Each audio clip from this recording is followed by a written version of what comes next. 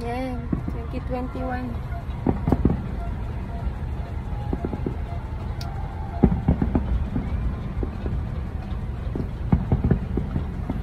Ha ha ha ha 2021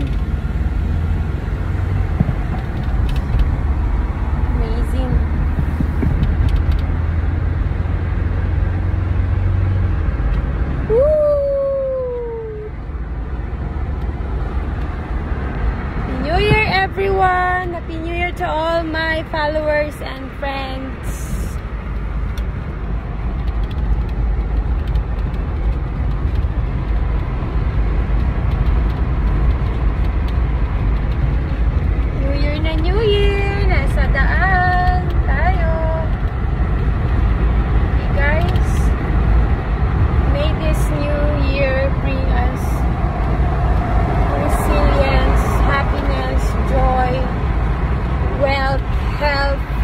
And love.